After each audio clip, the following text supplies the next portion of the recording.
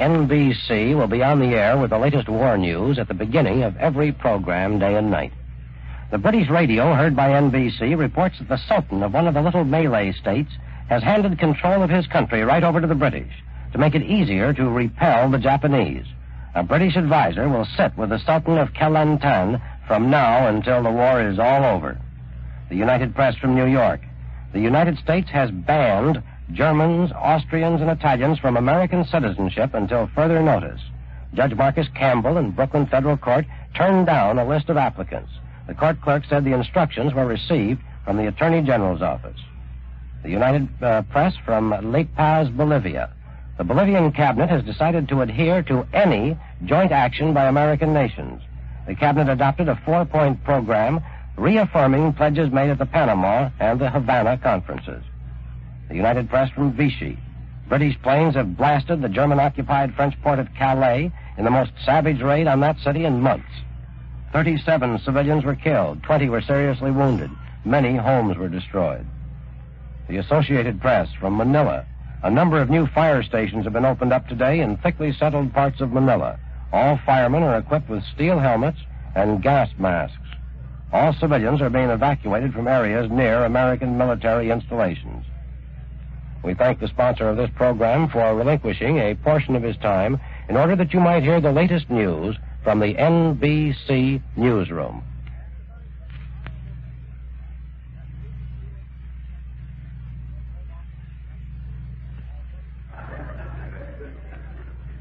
The Johnson Wax Program with Fibber McGee and Molly.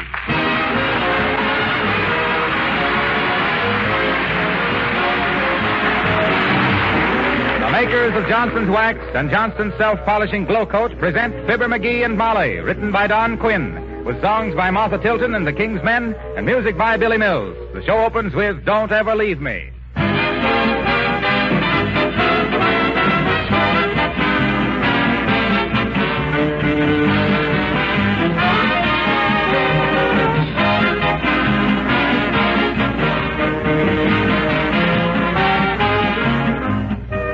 Have just received this message for our listeners in a telegram from the president of S.C. Johnson and Son Incorporated, our sponsor.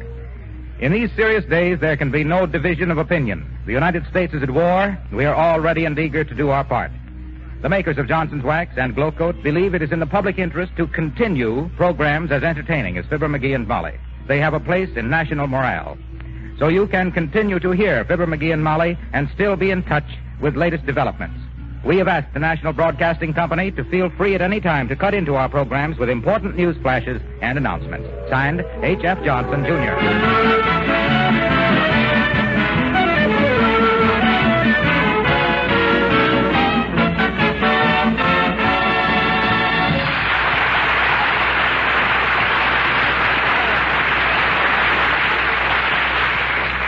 Well, there's an old saying to the effect that the female is more deadly than the male.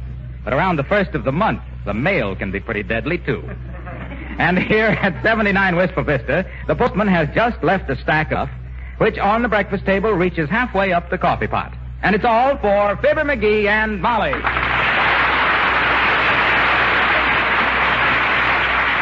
Heavenly days, McGee. Look at these bills. You look at 'em. I got a letter from my cousin Ich. Dick. Yeah, you know, Ichabod McGee. Oh, sure. Hmm? He was the black sheep of your family, wasn't he? Yeah, complete no good. Ran away when he was 16. Oh? Bummed around the country and started gambling. Won a few hundred bucks and squandered the whole roll on a few acres of scrub farmland and then carelessly discovered oil on it.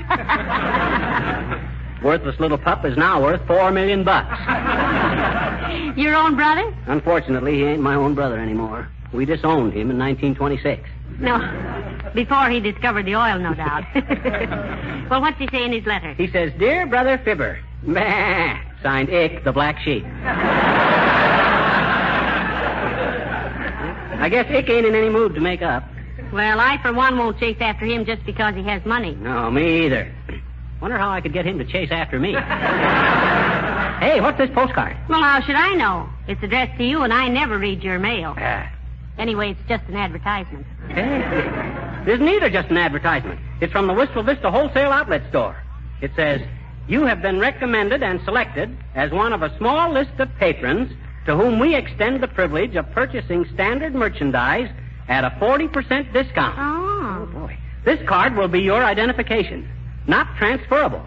Yours very truly, signed, Paul, your pal Peters. Oh. Say, I didn't know you had a Paul named Pal Peters. Who is he? And why should he give you 40% discount on anything? Oh, they just do that for a few prominent citizens, for the goodwill. You see, Molly, if they... Oh, come in. Hi, babe. Hello, Skimp. Hello, Mr. Mills. Hi, Billy. What's troubling your pretty little bald head today? you know anything about radio, Skimp? Who, me? I'll say I do. Why, sure he does, Mr. Mills. He fixed ours yesterday. Yeah. Now all we have to do to get KPMO is turn the dial to WTL and kick it three times. Why'd you ask, William? I wanted to get my sister a radio for Christmas. Say, I thought you got her a new one a couple of years ago, Billy. Well, I did, but it's worn out. Oh. She Oh. can't get Ed Wynn on it anymore. well, if you want. Hey, look. I can get you a radio wholesale, Billy. 40% off. How much you want to sink into it? Oh, about 50 bucks. Oh, well, uh, you want one that'll play records? No, my sister hasn't got any records. you leave the whole thing to me, Billy. Tell Santa Claus it's in the bag. You mean you can get me a 50 buck radio for 30, Skimp? Absolutely. Save you 20 smackers. So if you were thinking of getting me some little inexpensive thing for Christmas, you can do a little better now. hey, wait a minute, Skimp. How come you get 40% off on radios? What do you mean on radios? I get 40% off on anything. I got connections. I know people in the right places. Oh, sure. Don't you forget Mr. Mills McGee is a prominent citizen. You betcha. Stand up, dearie, and show Billy how prominent you really are. Well, I'm certainly obliged, Skimp. Want the 30 frog skins now? No, no. Wait till you get the radio. Uh, will you sit down and have a cup of coffee, uh, Billy? No, thanks, babe. Coffee makes me sleepy. Makes you sleepy? That's funny. Keeps most people awake. Not me. I never drink it. So long.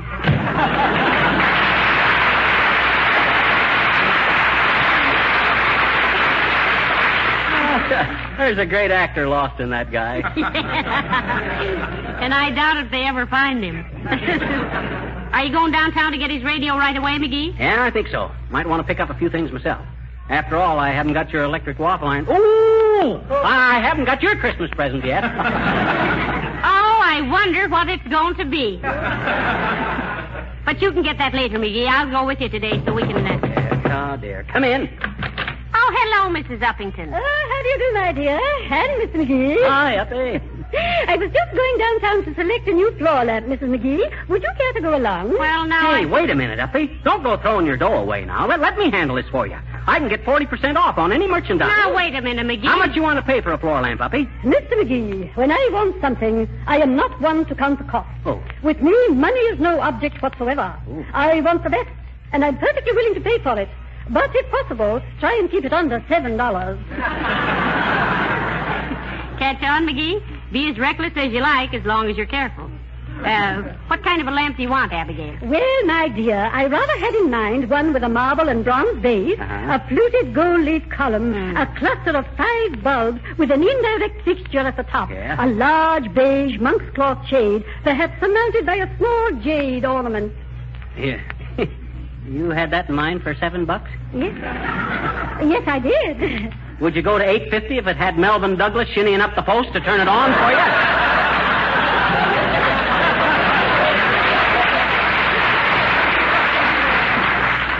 As long as you can get it wholesale, Miss McGee, you may even go as high as ten dollars if necessary. Oh. Now that would amount to uh, uh, six dollars, I believe, with a discount. Yeah. And if I see a nice pair of pliers for about two bits, you want those too, Uppy? Why should she want a pair of pliers, McGee? Well, I hate to see anybody pinching pennies like this with their bare hands.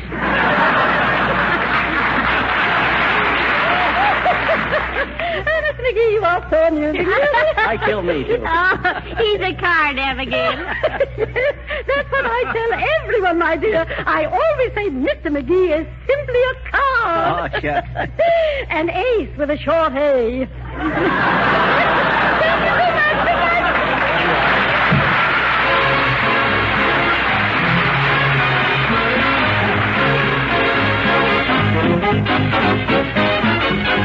King's Men singing Chul. La la la. Who said a woodchuck, woodchuck would? Would he chuck another woodchuck's wood? If a woodchuck could chuck, he'd chuck good. Pookadiddle-lollaboo, so real. Choo, choo, choo-la-roo. Choo-la, chag-a-rack, choo-la-barbecue. Every time I see silly by the wheel, pookadiddle-lollaboo, so real. Ooch, ooch, ooh-la-roo. Choo-la, chag-a-rack, choo-la-barbecue. Every time I see silly by the wheel, pookadiddle-lollaboo, so real. The tune is teasy, so cool and breezy. Just take it easy. Choo, choo, choo-la-roo, choo-la, chag-a-rack, choo-la-barbecue. Every time I see silly by the wheel, pookadiddle-lollaboo, so real. I met with a gal and her name was Vasily. Side of her, side Vasily, won't you be less chilly? You should have seen the change come over that Billy Pookadiddle-lollaboo, slow real. Choo, choo, choo-la-roo, choo-la, chag-a-rack, choo-la-barbecue. Every time I see Vasily by the wheel, Pookadiddle-lollaboo, slow reel. Once a policeman met a fiddlum, sitting on a stirrup cone chewing gubber rum. Woo, said the policeman, won't you shimmy gum, Pookadiddle-lollaboo, slow reel. No rhyme nor reason, kind of pleasing, always in season. Choo, choo, choo-la-roo, choo-la, chag-rack, choo-la-barbecue. The last time I saw him, silly by the wheel, hook-a-diddle is a riddle with a fiddle in the middle, took a diddle in a bag of feather. Sure, sure, sure, how silly it makes you feel, hook-a-diddle-lollaboo, so real, so real, better with a dealer in a bag of feather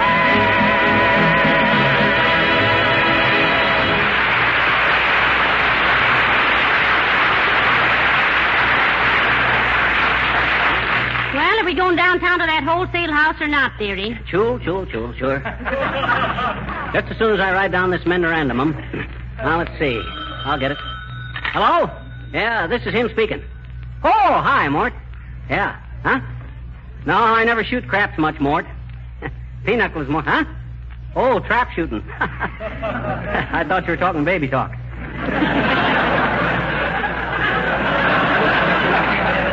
I'd get a 12 gauge shotgun if I was you, Mort. That's the best. Hey, wait a minute, Mort. I can get you one wholesale. Oh, dear. Here we go again. Oh, what say, Mort? Sure, 40% off. Okay, you just leave it to me, Mort. You betcha. Okay, Mort. Goodbye, Mort. Huh. I never saw you act as a middleman before, McGee, but man, you're sure putting yourself in the middle. Oh, well, what's one more little item? Put that down on the list, Molly. 12 gauge shotgun, automatic full choke. Full what? Choke. What does he do? Shoot things and then strangle them? Oh, choke means the barrel is kind of made smaller at the end. Now, let's see. One radio, one lamp, one shotgun. One wonders. One wonders what? One wonders what one's getting into. Okay, okay, okay. Laugh if you want it, but 40% off ain't anything to sneer at. Who's laughing? Wasn't me. Hey, I wonder if I could get a Cocker Spaniel down there. Why buy one there? Well, they say a bargain dog never bites.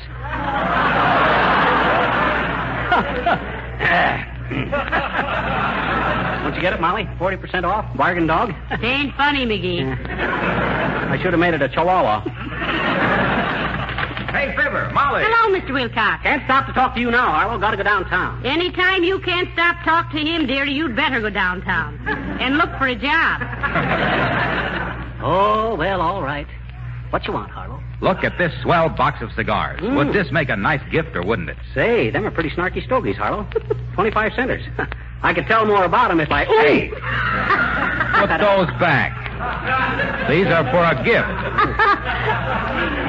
Is it somebody special, Mr. Wilcox? I'll say, Mom. It's more of a prize than a gift, really. I'm presenting them to the man who coined the slogan, Your linoleum will be your pride if Johnson's Glow Coat is applied. Oh, were you having a contest? Well, no, not exactly, but I thought it was pretty good. You see, it implies the whole story of Johnson's self polishing Glow Coat. Get this, folks.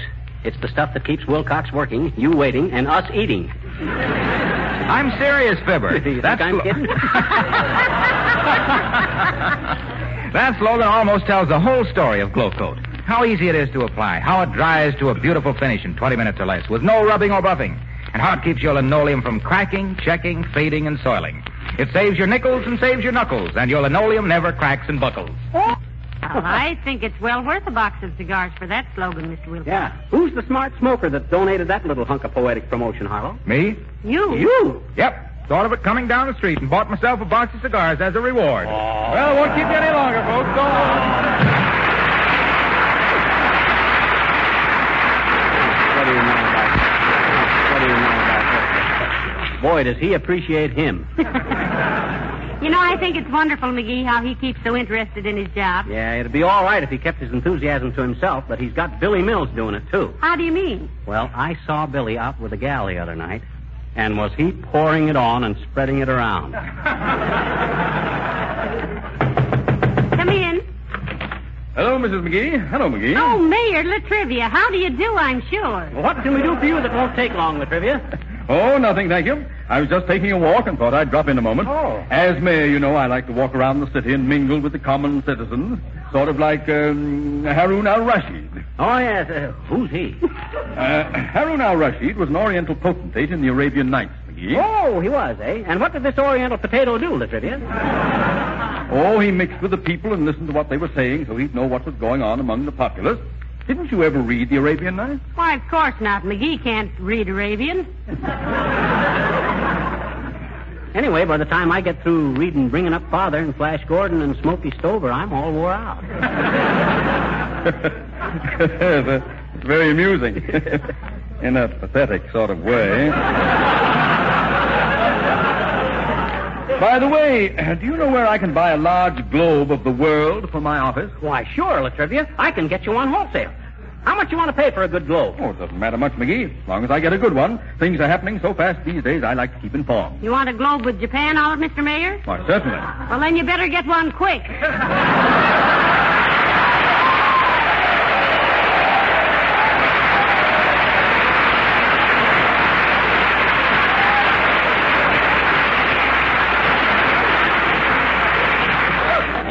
Yeah, you leave it to me, La Trivia. I'll see that you get a good one cheap. I got connections. Splendid, splendid. Thank you very much. I'll try to return the favor sometime. Hey, how about that job in the city hall you promised me? Oh, did the mayor promise you a job, did Well, he? practically. He says he was looking for a smart, level-headed man to look in on the higher-ups in the interests of clean government.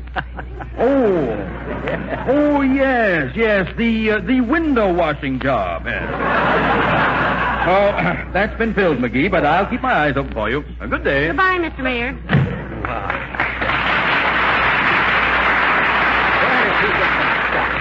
Window washing job. Who does he think I am? He thinks you're the man who wanted the window washing job. Let me take that shopping list again, Gee. Yeah. Now, what have we? A radio, a floor lamp, a globe, and a shotgun. Yeah. Ah, civilization in a nutshell. How are we going to get all this stuff home? Oh, I imagine they'll deliver it to the different people for us. Well, if they don't, we can stick up a truck driver with a shotgun. Yeah. Or I could bop him with the floor lamp and run off with the globe. McGee, look who's here, Mr. Wimple. Hello, Mr. Wimple. Hi, Wimp, old man. Hello there, folks. Excuse me for walking right in, but my goodness, I haven't seen you for simply weeks. I suppose that's because it's been so rotten out. No, it's because you've been so written out. Oh, Mrs. McGee, I just love a woman who has a sense of humor. Oh, I love this one myself, Wimple. You go get one of your own. Hasn't your wife any sense of humor, Mr. Wimple? Hmm, who, Sweetie Face? Well, yes, in a way she has, Mrs. McGee. But she's more of a practical joker, you might say. Oh, oh one of those. Yes. I'll never forget the time we were mountain climbing, and she held me over the edge of a cliff by my coat collar. Oh, yeah, but you knew she wouldn't drop you, Mr. Wimple. Oh, of course I knew it, Mrs. McGee. Certainly wasn't her fault that she got bit by a snake just at that minute and had to let go. Heavenly days, Mr. Wimple. How far did you fall? Only a few feet, Mrs. McGee. Uh, fortunately, my pants caught on a bush, and there I was, looking down into a 400-foot canyon, screaming for help and taking pictures like mad with my 2A brownie. How about the wife, Wimple? Was the snake bite serious? Oh, oh, indeed it was, Mr. McGee. Death came within five minutes, and Sweetie Face skinned it for a hat band.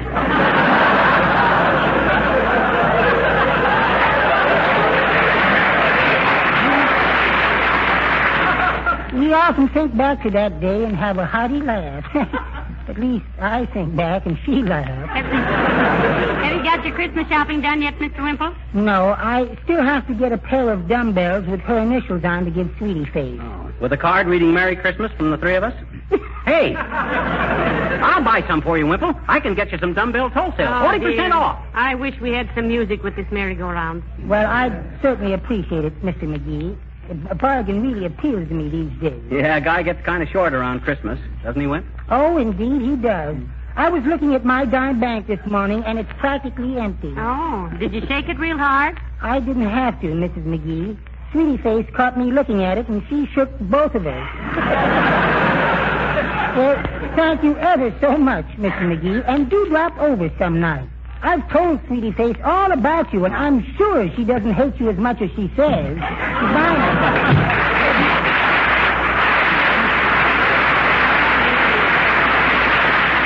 What a life he must lead me. Oh, look at the time it is, McGee. Oh, my gosh, we got to get going before that store closes. Get your hat, Mom. I'm all ready. Get your own hat. You got the list of things? Sure, right here. How about the checkbook? Oh, my checkbook. Oh, my. Oh, where's my check? Oh, I remember. Where is it? Right here in the hall closet. Oh.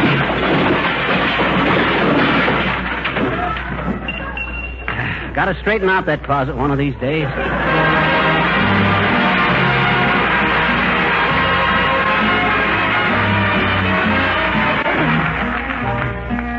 Martha Tilton singing The Last Time I Saw Paris. The last time I saw Paris, her heart was warm and gay. I heard the laughter of her heart in every street cafe.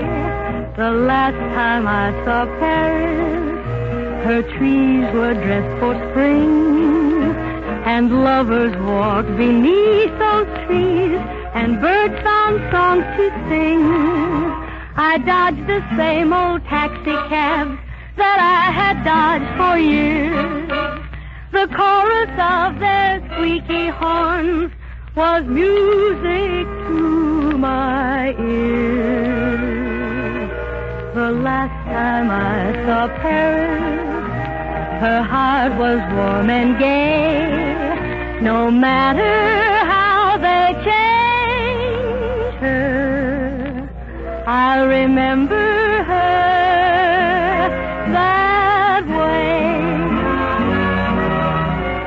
think of happy hours and people who shared them. Old women selling flowers in markets at dawn. Children who applauded Punch and Judy in the park. And those who danced at night and kept their Paris bright. Then the town went dark.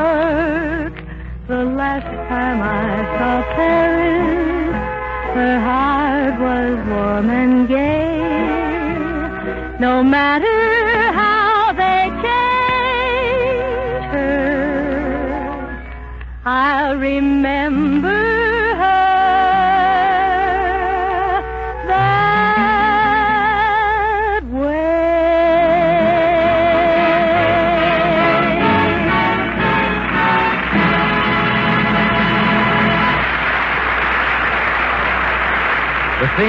79 Wistful Vista. The time, three hours later.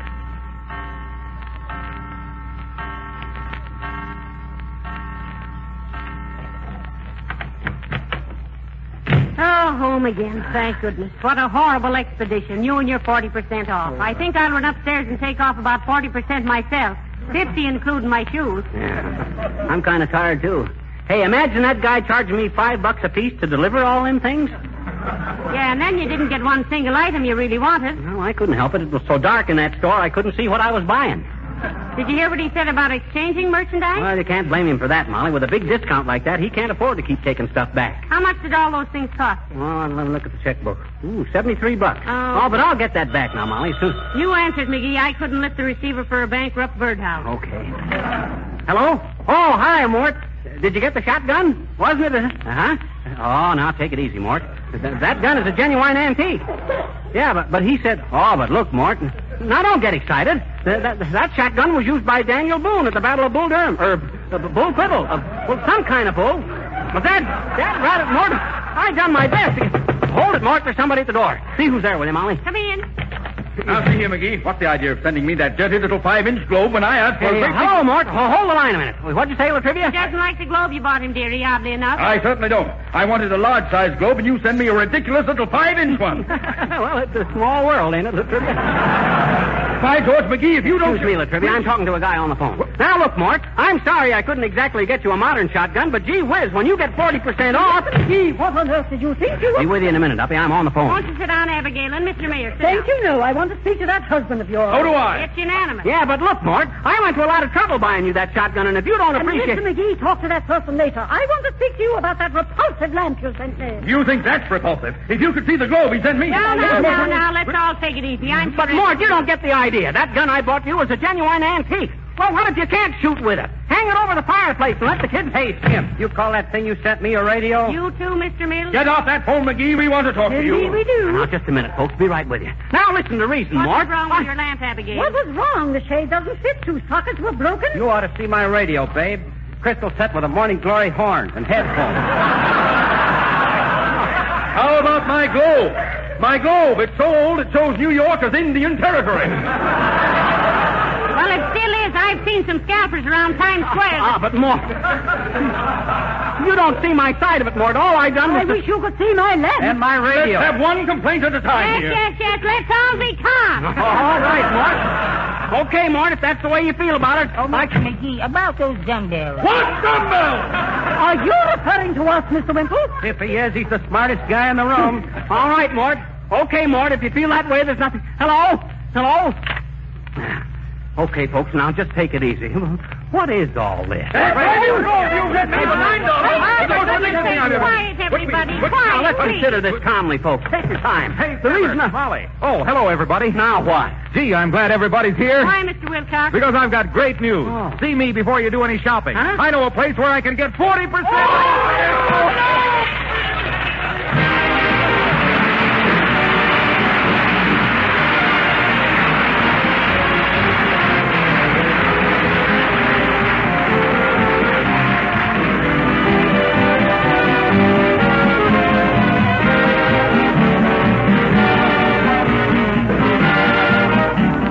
Ladies and gentlemen, we know everyone is anxiously awaiting the words of President Roosevelt. In the meantime, the makers of Johnson's Wax have this message for you. America has answered the treacherous attack of the Japanese by declaring war to the victorious end. To ensure our victory, we must turn our dollars into guns and our dimes into bullets. Buy United States defense bonds and stamps at your bank, post office, or savings and loan association. Get them from your newspaper carrier boy or your retail dealer. If you live in Canada, buy Canadian War savings certificates or victory bonds. Don't delay. Act now.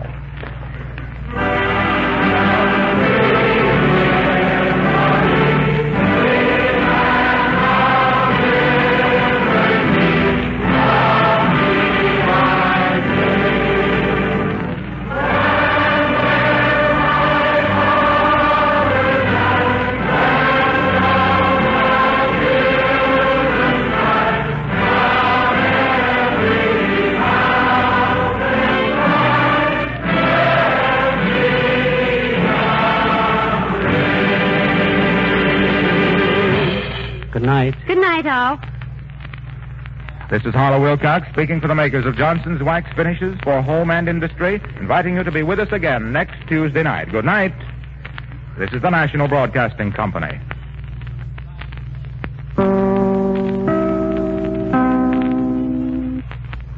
This is Chicago WMAQ. In 10 seconds, it will be 9 p.m. B-U-L-O-V-A, Bulova Watch Time. Bulova, masterpiece of fine watchmaking. WMAQ.